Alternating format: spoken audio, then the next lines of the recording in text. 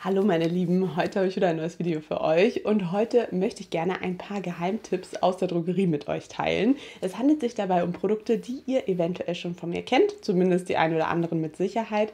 Gleichzeitig möchte ich euch aber auch ein paar Anwendungstipps mitgeben, denn diese Tipps helfen euch wirklich dabei, dass die Produkte noch um einiges besser performen. Ich dachte, das könnte vielleicht ganz interessant sein und ist vielleicht ein ganz interessantes Format. Ich würde mich natürlich sehr freuen, wenn ich euch damit helfen kann und bin gespannt, was ihr zu dieser Frage hier sagt. Schreibt mir gerne die Antwort in die Kommentare und dann würde ich sagen, starten wir direkt mit dem Video und ich wünsche euch ganz, ganz viel Spaß dabei. Wir starten mit zwei Mascaras und den Tipps dazu. Also zum einen handelt es sich um die Catrice Glamantol Mascara, die gleichzeitig ja ein Wimpernserum enthält und nicht nur wie eine normale Mascara funktioniert, sondern auch langfristig die Wimpern eben länger und stabiler machen soll. Ich habe euch ja schon öfter erzählt, dass ich finde, dass der Mascara-Effekt sehr schön gegeben ist. Also die Wimpern werden definiert und länger gemacht und ich finde auch eben, dass sich langfristig die Wimpern wirklich ein bisschen damit verbessern.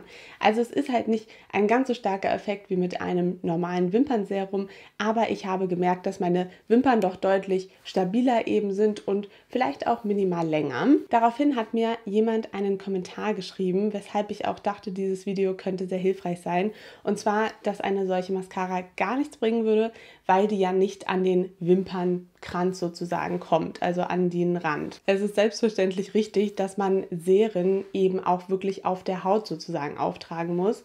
Und das ist auch der Grund, weshalb ich diese Mascara richtig, richtig dicht am Wimpernkranz auch ansetze. Ich zeige euch das auch gerne mal. Also ihr startet wirklich direkt am Ansatz eigentlich mit dieser Mascara. Natürlich piekst das ein bisschen, aber mittlerweile habe ich mich dran gewöhnt und ich probiere auch immer gezielt mit der Mascara-Spitze nochmal so ein bisschen an den Rändern lang zu gehen, damit eben auch etwas von dem Produkt auf die Haut kommt. Und ein großer Favorit von mir ist ja mittlerweile auch diese Trended Up Forward Slash Boom Mascara. Und die trage ich tatsächlich immer zusätzlich noch auf. Und hier solltet ihr wirklich darauf achten, dass ihr das Produkt mit Zickzack-Bewegungen auftragt. Ich wechsle immer, also mal mache ich Zickzack-Bewegungen, dann gehe ich wieder gerade über die Wimpern rüber und damit kommt wirklich ordentlich viel Produkt in die Wimpern, auf die Wimpern, wie auch immer. Ihr bekommt richtig schönes Volumen damit, Länge und Definition. Allerdings schichte ich diese Mascara auf, auch häufiger und dementsprechend können die Wimpern natürlich dann doch ganz schön verkleben. Da habe ich aber gleich den nächsten Tipp für euch. Und da möchte ich euch gerne diesen Wimpernkamm hier zeigen. Der ist von Tweezerman, den hatte ich euch in einem Reel gezeigt und auch in der Story mal ein bisschen genauer was dazu gesagt. Das ist nämlich so ein cooles Produkt. Der ist ja etwas teurer, gibt es gerade aktuell im DM Online-Shop zu kaufen. Das ist halt wirklich ein Kamm und keine Bürste. Und damit kann man die Wimpern viel, viel besser definieren. Wenn ihr eben zu viel von der Mascara aufgetragen habt, geht ihr einfach nochmal mit diesem Kamm durch die Wimpern durch und der Kamm nimmt dann wirklich schön das überflüssige Produkt ab, ohne dass eure Wimpern gleich wieder ganz anders aussehen. Also der Effekt ist noch richtig stark gegeben, allerdings halt viel, viel definierter wieder. Mit einer normalen Wimpernbürste bekommt man das so nicht hin, weil eine normale Wimpernbürste eben meistens das Ganze eher verteilt und auch nicht so viel Produkt dann aufnehmen kann wie dieser Kamm hier. Gerade wenn ihr auch so ein Fan von Schichten seid, dann solltet ihr euch den anschauen kommen wir zu diesen flüssigen Foundations. Da habe ich hier einmal wieder die Rival de Loop Foundation, das Hyaluron Make-up, was Feuchtigkeit spenden und Falten und Linien kaschieren soll. Und von Trended Up die Hydro Stay Foundation mit Hyaluron und Vitaminkomplex. Da ist außerdem ein Lichtschutzfaktor drin und das ist die Farbe 020. Ich finde beide Foundations super, habe ich euch ja schon öfter jetzt auch empfohlen. Die Rivale Loop Foundation ist noch ganz leicht natürlicher, würde ich sagen, weil die von Trended Up etwas mehr mattiert. Allerdings auch sehr schön. Also die von Trended Up ist dafür vielleicht ein bisschen stärker in der Deckkraft. Sie sind beide aber nicht zu maskenhaft, halten recht lang und sind wirklich schöne Produkte auch für den Alltag. Gerade bei dieser Rivale Loop Foundation habt ihr mir allerdings schon geschrieben, dass die eben abhält. Und ich habe euch da vor kurzem erst empfohlen, die wirklich immer gut zu schütteln. Dann kann die eigentlich gar nicht abhellen. Also ich hatte das auch, wie gesagt, einmal. Danach habe ich sie ordentlich durchgeschüttelt und dann war wieder alles super. Deshalb erster Tipp bei diesen flüssigen Foundations, wirklich immer ganz wichtig, jedes Mal bevor ihr sie auftragt, richtig gut durchschütteln. Egal, ob ihr sie gestern erst benutzt habt oder ob das zwei Wochen her ist, dann ist es natürlich noch wichtiger. Und was ich damit auch immer zusätzlich mache, ist sie in die Hände zu nehmen und zwischen den Handflächen zu reiben. So erwärmt sich das Produkt auch noch mal ein bisschen. Es lässt sich dann besser durchmischen und wie gesagt, damit sollte sich eure Foundation nicht mehr abpellen. Also ich hoffe, das ist auch ein schöner Tipp für euch. Als nächstes möchte ich euch gerne von Garnier nochmal diesen Sonnenschutz empfehlen. Das ist ein Sonnenschutzspray, soll einen Lichtschutzfaktor von 50 haben, außerdem mit Hyaluronsäure angereichert sein und dieses Spray kann man einfach über Make-up auftragen. Auch das ist wirklich ein Game Changer, finde ich, weil gerade im Sommer natürlich Sonnencreme super wichtig ist und auch tagsüber immer nachgetragen werden sollte. Ich trage meistens aber auch im Sommer ganz gerne mal ein bisschen BB-Cream oder Concealer und dann kann man natürlich so eine Sonnencreme nicht einfach darüber schmieren. Mit diesem Sonnenschutz ist das möglich, indem ihr wirklich das einfach drüber sprüht. Der Nebel ist wirklich sehr fein, wie ihr seht. Ich persönlich finde den Nebel wirklich super angenehm, auch auf der Haut bei mir persönlich ist es nicht zu fettig, nicht zu klebrig oder sonst was. Habe ich allerdings auch schon von ein paar Leuten gehört. Nur der Duft ist ziemlich aufdringlich. Auch gerade dadurch, dass das natürlich ein Spray ist, atmet man den ziemlich doll ein. Und auch hier ein ganz wichtiger Tipp, wenn das für euch zu fettig ist, auch immer darauf achten, das Produkt gut durchzuschütteln. Vor jedem Auftragen. Ganz wichtig, wirklich. Vielleicht macht ihr das ja auch nicht und dementsprechend bilden sich so zwei Phasen und ihr tragt dann nur eine Phase auf eurem Gesicht auf. Das kann dann genau diese fettige, ölige Phase sein. Also wirklich gut durchschütteln, auch wirklich mehrere Sekunden, nicht nur ganz kurz. Und dann sollte das damit auch gut funktionieren. Ein weiteres Produkt von Tweezerman ist diese Wimpernzange. Auch die kann ich euch sehr empfehlen. Es gibt natürlich auch günstigere Wimpernzangen in der Drogerie. Die sind für den Einstieg sicher auch ganz gut. Das ist eine sehr, sehr hochwertige. Ich finde die vom Design her auch super schön.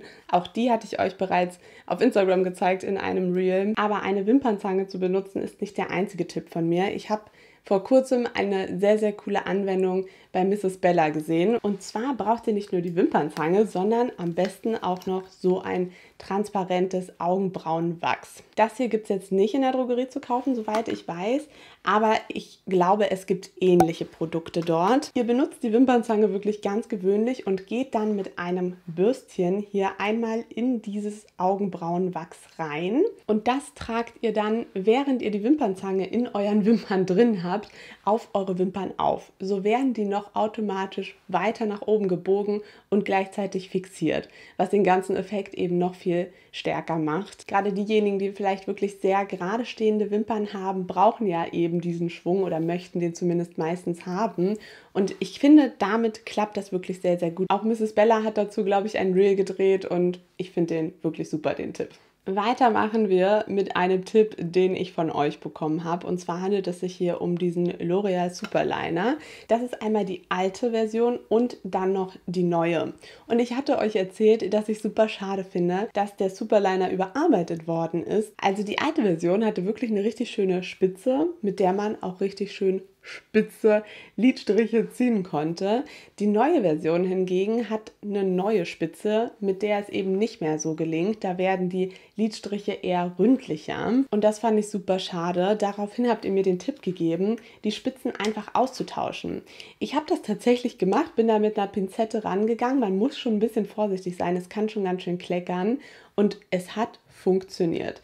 Übrigens sieht man so erstmal gar keinen großen Unterschied, muss ich sagen. Also die Spitze sieht eigentlich komplett gleich aus, aber sie ist wirklich im Auftrag anders. Wenn man die Spitze dann gewechselt hat, kommt zwar nicht mehr ganz so viel Farbe rauf, aber trotzdem genügend, sodass man sie noch gut verwenden kann mit dem neuen Farbinhalt eben. Vielleicht habt ihr ja auch so einige Produkte, die erneuert worden sind oder bei denen es eben möglich ist, die Spitzen zu wechseln, wofür auch immer. Vielleicht könnt ihr es ja irgendwie gebrauchen. So, und dann habe ich hier noch einen Tipp bezüglich Shampoo. Das ist ja aktuell mein liebstes Shampoo aus der Drogerie und zwar aus der Hair Biology Reihe. Das Shampoo mit Rosenwasser und Mizellen. Es soll für einen fettigen Ansatz und geschädigte Spitzen geeignet sein. Aus der Hair Biology Reihe ist es tatsächlich das einzige Produkt, was ohne Silikone auskommt und deshalb finde ich es auch so toll. Da sind auch jetzt keine Farbstoffe und keine Mineralöle drin, auch sehr schön. Es sind allerdings Sulfate enthalten, das hatte ich euch auch schon gesagt. Darauf achte ich allerdings weniger. Also mir ist es sehr wichtig, dass eben keine Silikone drin sind. Es ist ein Shampoo, was wirklich super schön angenehm frisch riecht, gerade in den Haaren. Da riecht es noch besser als in der Verpackung.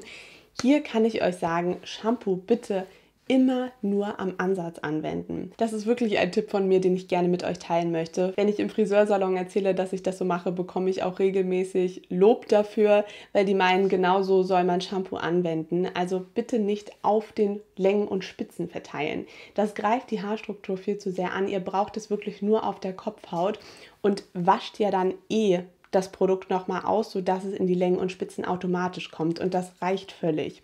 Außer ihr habt vielleicht eine sehr, sehr reichhaltige Maske aufgetragen vorher, die sich nicht so leicht auswaschen lässt.